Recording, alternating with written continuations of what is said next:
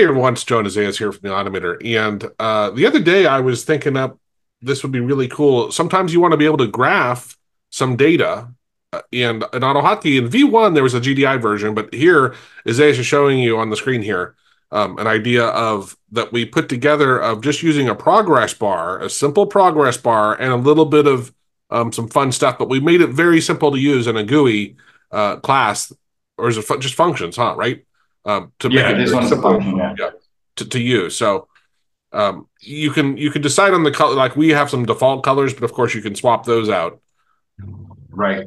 But- so the the code is really simple, and especially when you want to use it. So let me show this one, and um, this is basically what it looks like. You create a map, for example, with key value pairs.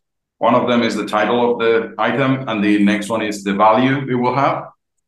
And the only thing you have to do is call the create bar chart function with the map that you just created and a title. And if you don't like using maps, you can also do the same, but instead of a map, you can use a string of text, a normal piece of text that is separated by, again, key value pairs.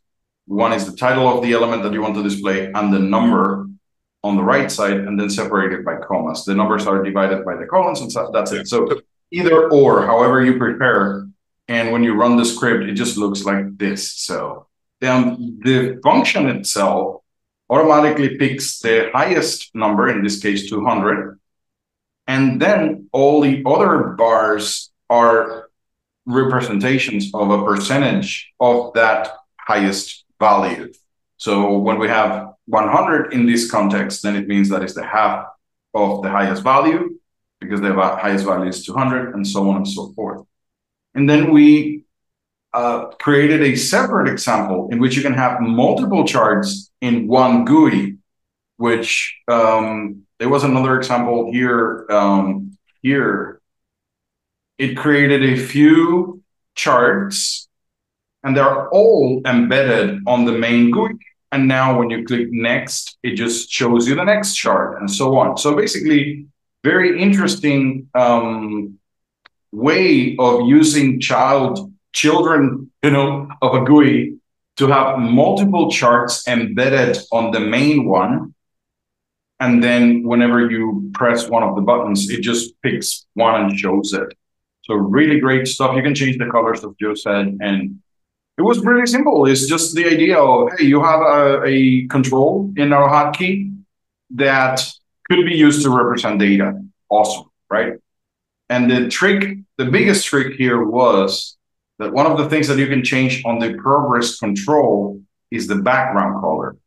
And if you make the background color the same color as the GUI where you had it, then you see it as transparent. Basically, is basically what's going on.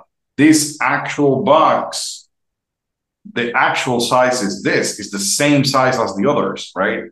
The only difference is that there's a section of it that we just made it the same color as the GUI. And that's the reason why it creates this um, uh, illusion that the, the bar is not taking the whole space. That's all. So it was a very interesting approach without us relying on the GDI library if you don't know about GDIs and stuff. So for you, it's just a matter of having the data and calling the function like this. And as I mentioned before, like there's some other um, parameters that you can change, like the header text, the footer, the footer text, the width, the background color, and so on and so forth. Okay, so one of the other things that you can do with this is to determine how the values are displayed.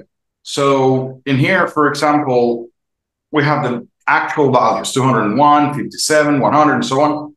One of the parameters that the function has, um, which is pretty useful in certain situations, is uh, to display whether you want to display values, which is the default, which is a V for values, or if you want to display a P for percentage. And that, when I put that parameter in, what happens with it is when I run it, now this displays this top value as 100%, and every other uh, value is just a percentage representation of their actual values. Of the top one comparison to the top right. Right. So at this point you can see that you can either display it as percentages if you wanted to or if you wanted to display them as actual values you can do so as well. It's really great actually helps a lot with with showing certain data in your program in a way that makes sense to you yeah if maybe later we decide there's a need for it, we could also provide a value that is used as the max but isn't part of the graph. Because sometimes you might say, hey, you know, I don't want to actually show the 100%. You know, I want to have an arbitrary value I set there and do this stuff and have it all compared to that. Um, that's something we could yeah. Consider. But again, this is meant to be a simple tool, simple bar charts, right, to show this stuff. So I think that's pretty yeah. cool that now it's uh, able to show them as percentages, which we just yeah. added a minute ago because I was like, hey, that you know, why not make that a functionality? Yeah. So, but it's very simple, very easy to use, and uh, right. uh, and it's all built into AutoHotkey, so there's no external libraries that you need to do this. Right. Exactly. So if you want to learn more about creating GUIs and stuff, not that we have that in our course, but we have a great mm. intro to GUIs course that helps you learn how to create and manipulate GUIs in AutoHotkey. I do talk about the bar, the progress bar control, which is what we were using here. So it might give you a good idea of how to do exactly what we did. Cool. So please like the video if you learned something there. You can go ahead and get that. It, as we mentioned the other day, everything now on an automator is at least a dollar, just because we're we're cleaning up email addresses and other things. So, uh, but you can grab that code there if you wish. Have a great day. Cheers. Bye, guys.